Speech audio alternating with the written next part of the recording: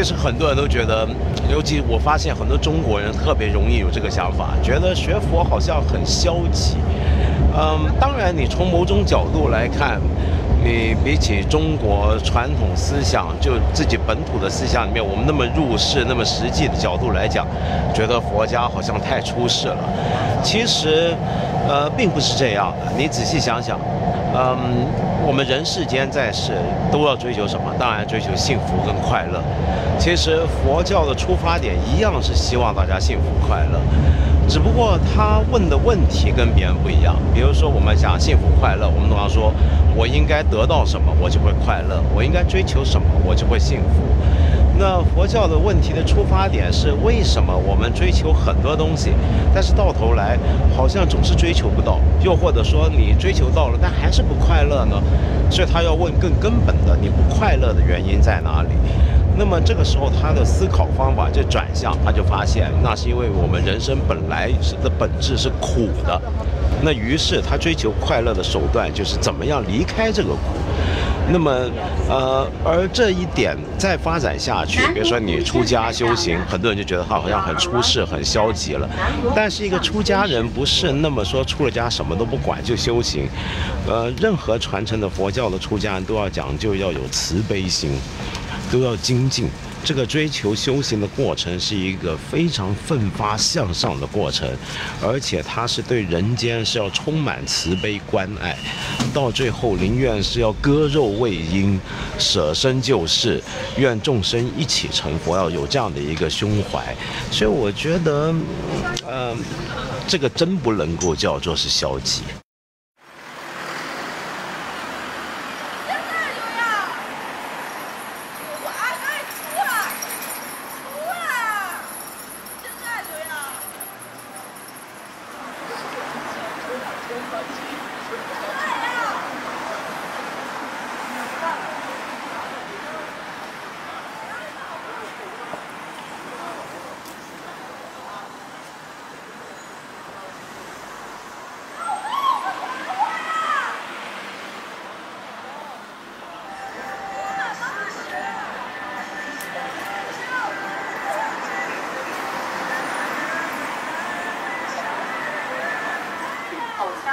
限量促销五元两斤五元两斤现先多运动运动一点走走人欢迎乘坐北京地铁六号线列车本次列车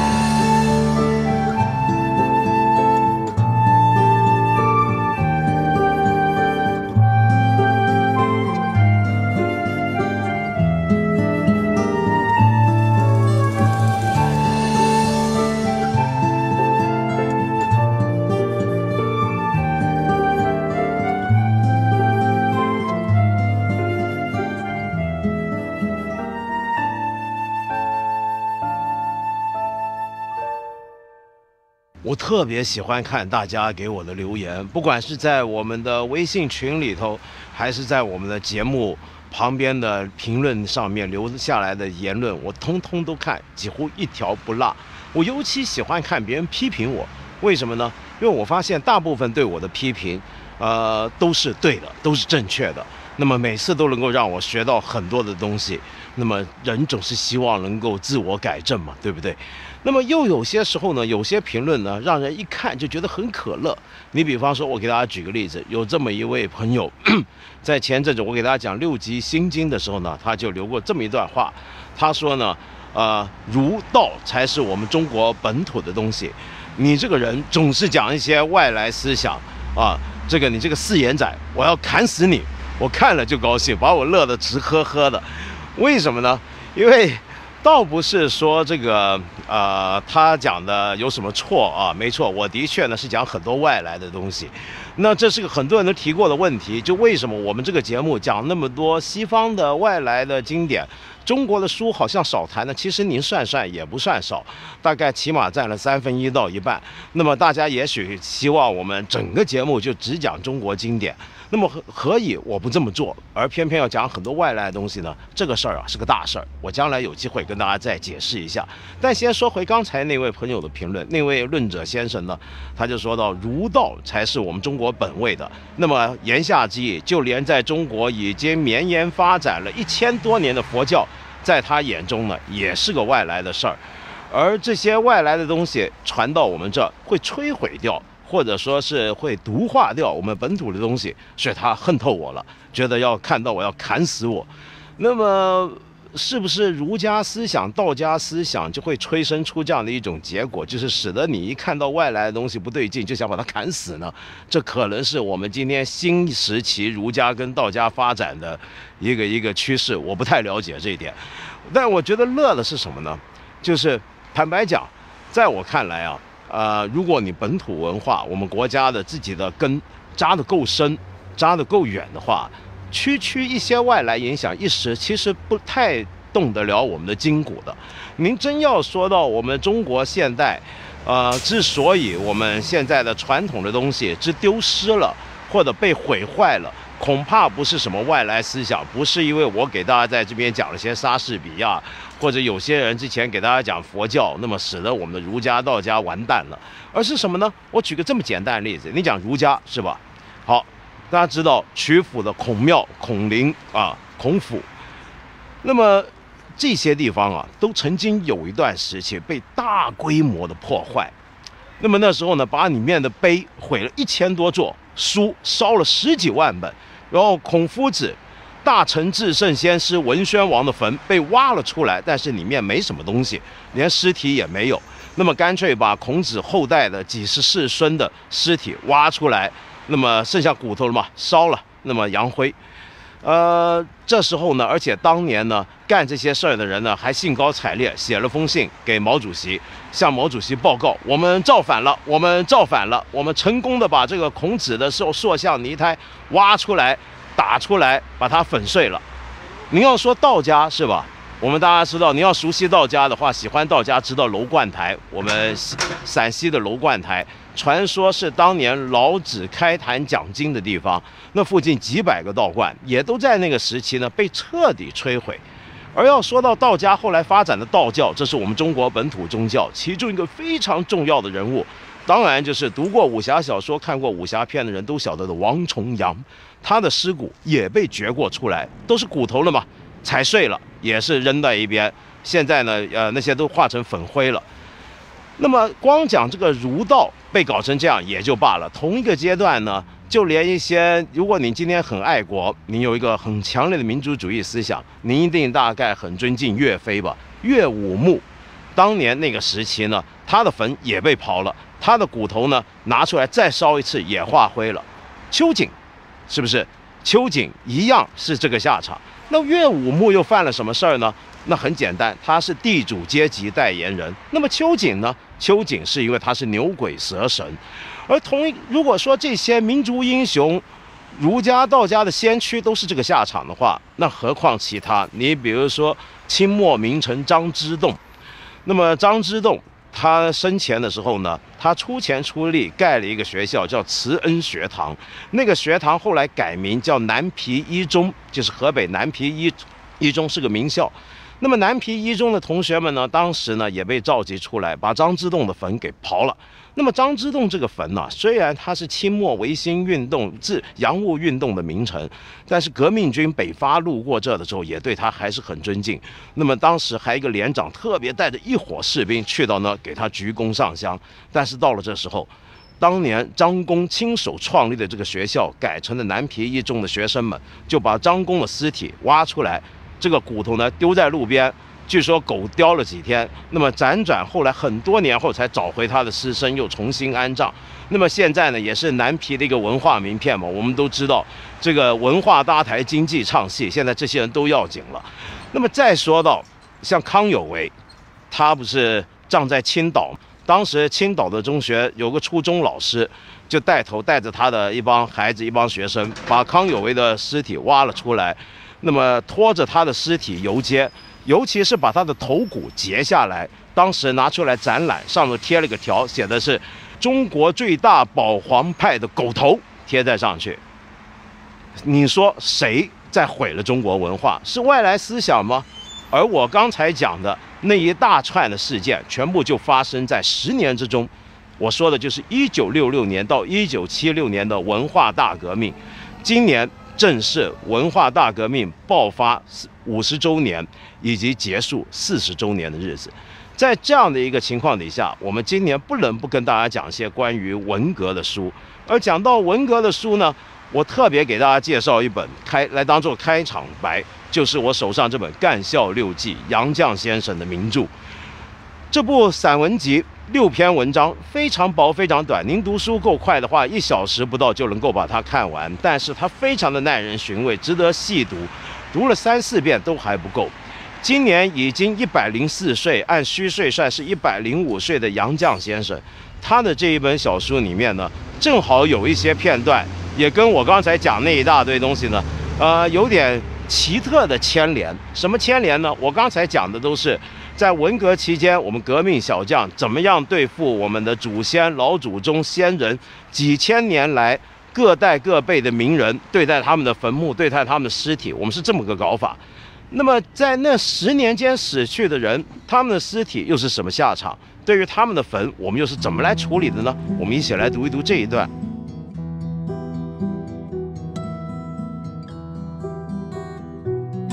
我看见几个人在胡萝卜地东边的西岸上挖土，旁边歇着一辆大车，车上盖着尾席。哦，他们是要埋死人吧？旁边站着几个穿军装的，像是军宣队。我远远望着，刨坑的有三四人，动作都很迅速。有人跳下坑去挖土，后来一个个都跳下坑去。忽有一人向我跑来，我以为他是要喝水，他却是要借一把铁锹。他的铁锹柄断了，我进窝棚去拿一把给他。借铁锹的人来还我工具的时候，我问他死者是男是女，什么病死的。他告诉我他们是某连，死者是自杀的，三十三岁男。冬天日短，他们拉着车回去的时候，已经暮色苍茫，荒凉的连片菜地里去无一人。我慢慢跑到埋人的地方，只看见添了一个扁扁的土馒头。谁也不会注意到西岸上多了这么一个新坟。第二天，我告诉了莫纯，叫他留心别踩那新坟，因为里面没有棺材，泥下就是身体。他从邮电所回来，那消息却多，不但知道死者的姓名，还知道死者有妻有子。那天有好几件行李寄回死者的家乡。过了年清明那天，学部的干校迁往明港，动身前。我们菜园班全伙都回到旧菜园来，拆除所有的建筑，可拔的拔了，可拆的拆了，拖拉机又来耕地一遍。临走，我和莫纯偷空往通往菜园看一眼，聊当告别。只见窝棚没了，井台没了，灌水渠没了，菜畦没了，连那个扁扁的土馒头也不知去向，只剩下满布可拉的一片白地。刚才我们念了那么一大段，就是来自《干校六记》其中一篇叫《学普记贤》的文章里面。那么《学普记贤》，你想想看，顾名思义，指的就是杨绛，她跟她的丈夫钱钟书先生，那么在干校里面劳动的时候呢，杨绛先生呢就是负责开辟一拓呃菜圃啊苗圃，然后跟着呢，其实呢他基本上就说自己很闲很得空，因为基本上他的活呢就是守在那。看着那个菜谱就行了。那么这谈中间那里面发生的种种的事，写的非常的散淡。他的文笔的特点是有一种很安静的，嗯，很端庄的世故，呃，非常的平淡，但是非常的耐嚼。那么，但是我们刚才看到那段是什么呢？你想想看，就安插在这样的一个题目下面，既闲。就谈他有多闲情逸致，听起来好像但是下面居然写到的是这么一个关于一个人他在那个运动之中，在干校之中，大概受了什么委屈折磨，自杀死了，他的尸体如何草草下葬，葬了之后又如何整个尸体连带一切都好像被遗忘了，就跟那场运动过后到现在的后果一样，很多东西被掩埋了，被铲掉了，也就没了，就算了。那这个人到底有没有存在过呢？那么书里面就刚才我也念到了钱钟书先生，他当时在那呢，负责的是给大家分发信、分发邮件。他就说到，那个人确实也果然是有名有姓，而且呢还要给他家里面寄回很多东西去。但是就这么一个有名有姓，在地球上生活过、活了三十三年的人，就这么样子莫名其妙没有了，连坟墓也没有了。今天他如果有后人、有亲人要去找，也都肯定什么都找不到了。也就是说，在那个运动里面，我们对于以前有名有姓的人物的坟墓是珍而重之的来破坏、来铲除；而对于同时代许多这些有名有姓的人，一个一个活人呢的态度却是那么的潦草、那么的随便。这就说下来，到底文革死了多少人？我们知道，跟大饥荒时期、跟别的中国现代史上时期不太一样的地方，文革那十年是整个国家机器也都瘫痪掉的，几乎瘫痪掉的十年。所以很多的正常能够帮我们统计数字、做各种统计总结的这些机构，也几乎处于一种瘫痪的停顿的状态。那么，所以我们现在是没办法知道那时候到底人命的损伤怎么样。有的人说是两百万，有的人很夸张说是两千万，但是这一切，在这本书里面体现出来的，就是刚才那样的一个段落，在一个季闲的状态底下出现了，这难道不是一个很奇怪的事情吗？这正正就是《干校六记》这本书，我觉得最大的一个特点之一。我们来看看杨绛老师、杨绛先生，他怎么样来在开头的时候。在写到了另一个本来应该会让人无限悲痛的一个事情，讲的就是他的女婿。我们知道他的女儿钱院，他叫阿元。那么，因为后来杨绛先生有本很有名的书《我们仨》，这里面也都提到他跟钱钟书先生跟他的女儿阿元之间的这个感情关系。那么，在这《干校六记》里面就提到，当年钱钟书先生先下干校，接下来呢，就轮到杨绛也去。那么钱钟书先生去的时候呢，他当然带着阿元，那么一家人去送别。那么现在轮到他自己走了，就他女儿一个来送。那他女婿上哪了呢？这边就说到王德一已经死了，怎么个死的呢？是这样，书里面就提到一段，就说到当时呢，王德一先生呢，啊，是因为五幺六事件被揭发出来，那么被斗争。到底什么叫五幺六事件？我觉得这个节目呢，谈到文革之所以不好做、难做的地方，倒不是因为它有多敏感。事实上，我刚才讲的大部分的材料，大家都可以上我们中国共产党的官方网页或者人民网、新华网上面，都是我是引用那儿的材料，不敢瞎来啊。而是它难讲的地方在哪里呢？就是里面有太多的当年的人，或者是长一辈的人觉得是常识的东西，今天年轻人看呢，搞不太懂，没听过。我前阵子呢跟人讲起姚文元，讲讲起张春桥，跟一些年轻小伙子，他们居然好像觉得那个是个历史人物，是不是民国年代的人？他搞不大清楚到底是谁。那么就先跟大家解释一下，这个《干校六记》这个书名的“干校”指的是什么？干校指的就是五七干校，它指的不是一家学校，而是一大批学校。但这个学校与其说是学校呢，倒不如说是种生产大队。它到底怎么回事呢？是这样的。是话说到呃一九六六年啊不六六七还是六八的时候，毛泽东写了一封信给林彪，那么是五月七号发出去，那么这封信呢后来呃也都公布出来，那么大家都学习了，那么根据这封信的精神所成立的一种学校就叫做五七干校，最早是从黑龙江开始，那个精神指的是什么呢？是这样的，毛主席他认为呢，当年抗战的时候啊。各个抗日根据地有一种很好的社会实验，就是各个部队它不只是打仗，不只是在敌后工作，不只是打游击，而且呢，它也生产，比如说他也种地，他也怎么样，提供自己的部队所需，同时他就是个社会学校，那里面的不同的三教九流的人物，大家为了共同的理想而来，互相交流彼此的经验、彼此的知识、彼此的学问。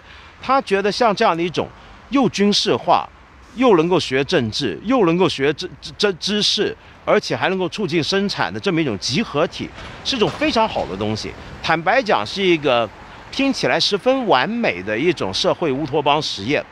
那么他觉得这个精神现在也要继续鼓吹、继续推动，在文革期间，那么就从黑龙江开始，有人就开始自动自发的搞起来，慢慢的就遍及到很多地方去了。那么为什么要干校呢？就是一些干部学校，就比如说把各个干部，把一些像钱钟书先生、杨绛先生这样的学有专才的一些教授、知识分子全部拉下去，重新整顿学习，主要是要改造他们。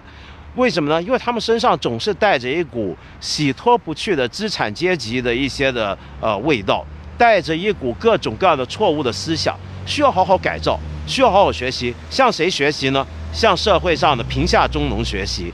而在这个生产过程之中，刻苦锻炼，比如说七老八十的这些老先生、老教授，或者当时五六十的杨绛老师、钱钟书老师，这些人都去种地，都去干活，干粗活。熬一下苦日子，那么把你们过去几十年做的学问全丢一边去，因为那个不重要。现在重要是做这种学习改造，那么就搞成是这个样子了，这叫干校。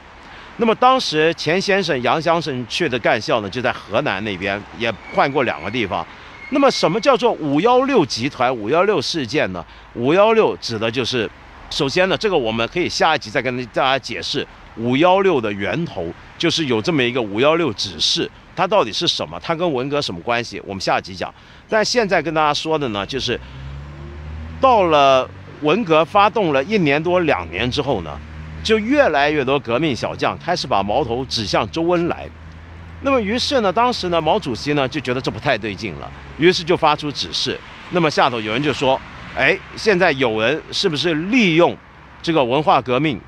其实是有阶级敌人，有对方的敌人呢，潜进去想要阴谋夺权，借着文化大革命搞斗争、搞揭发，其实是为了要暗算这个革命核心，要对付革命核心。那么，所以呢，这里面有阴谋集团要揭发出来。那么这些阴谋集团，据说其中一个厉害点呢，就在北京，就是五幺六的一个红卫兵组织。那么这个东西后来搞得非常扩大、非常深入，搞了很久，甚至直到林彪事件之后才终于停止。那么王德一先生，也就是杨绛的女先生的女婿呢，就是那时候被牵连进去，他当然是被污蔑告进去。那么但是后来呢，书里面这么讲，当然后来也有人记忆不一样，就说他呢，因为被逼迫要交出名单，你们同伙还有谁？那个时候不是很流行吗？群众一举报。被举报的人就有责任要揭发，还有谁跟我同伙？你没同，你本来就不是，你也不会有什么同伙。这时候你怎么办？很多人为了自保，为了过关，就捏造一些名字。比如说我今天干了坏事儿，人家要我举报人，我把我前面我摄制组全举报出来。其实我干了什么事儿，他们全都没参加，也没份，也都不知道。但是我把他们都举报出来呢，我也叫做有点立功的表现嘛，肯定有点改过的意图嘛，对不对？也就要他这么干，他不肯干。于是他最后被逼就自杀了，这事儿说起来十分的悲惨。其实后来很多关于文革的回忆里面，我们都看到类似的情节多不胜数，都写得非常悲切。但杨绛先生非常冷静的就一段写完，写完之后结尾是说，他想到这个女婿不在了，他的女儿送完他两老都去了干校之后，一个人回家收拾行李。收拾家里面那种孤苦、那种孤独，他就觉得难过。但是笔锋一转，居然就转到一个很成笑闹剧的事儿，就说到钱钟书呢，其实当时已经被折磨的样子完全不像钱钟书了，乃至于在干校里面一个黄大夫，姓黄的大夫，钱钟书去看病，他说自己是钱钟书，黄大夫你骗人，你根本就不是钱钟书，我真的是钱钟书，你不可能是。你别骗我了，钱钟书的爱人我认的。然后呢，杨绛先生怎么写？他说墨纯，墨纯就是钱钟书先生的字嘛，就说墨纯是经得住考验的。于是又报出了他的爱人的名字，那就是杨绛先生。那么这个黄大夫呢，还半信半疑，将信将疑。那么后来见他如此坚持，也就算了。这么写，这是个闹事儿，这是个好笑的事儿，但他又是个苦中作乐的事儿，因为他的背景是钱钟书先生。才短短一年就已经变成不像是原来那个人。他怎么会能够把这个事儿写成一个可笑的东西呢？而且更厉害的是，这段可笑的文字前面紧接着的，就是他的女儿的凄惨，就是他的女婿的惨死。这是一种怎么样的写法？怎么会用这样的写法来对待文革呢？这正正就是《干校六记》最独特的地方。我下一集跟大家接着分析。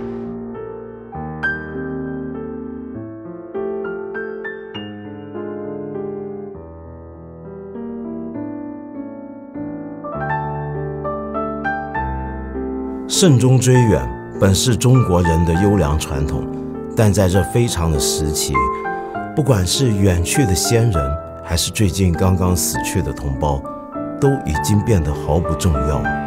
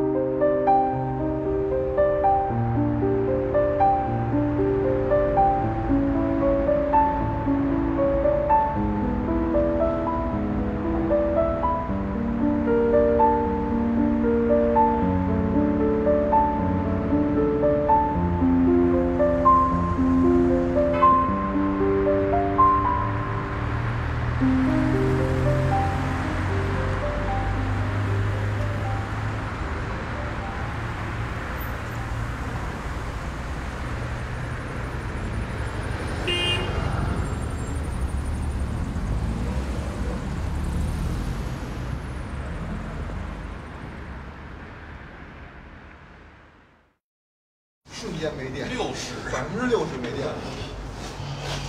天哪！八十六集二进二次。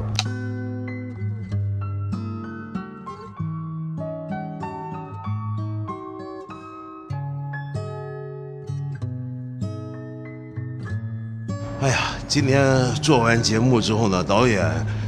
呃，在这个七级风的环境下，叫我们还是得跟大家叮嘱几句。叮嘱什么呢？就是从一月四号开始，我们一千零一夜要改版了。怎么个改版？为什么改版？是这样的：一来呢，做了八十多集了，也到时候呢，应该稍微变化一下内容。第二呢，就是之前很多观众反映啊，说我们一周三集这个节目量太密集太大，很多人呢存了下来看不完。我们做得了，你也消化不了，那不行，对不对？所以我们决定从一月四号开始，我们每周一、每周四只播两集。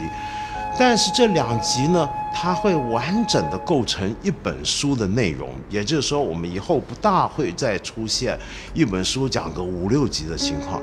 一本书我们主要就讲两集，两集把它说完，礼拜一、礼拜四加起来刚刚好。然后同时呢，我们还要改变它的内容跟结构。以后我们这个节目里面会加了一些互动环节，跟大家聊天。大家有什么问题，有什么意见，有什么批评，有什么指正，要骂我的，要怎么样都行。看准我们这个二维码，然后扫进去之后，就可以把你的所有想跟我们说的话发给我，然后我会在以后每一集节目里面跟大家去回应。啊，或者跟大家道歉。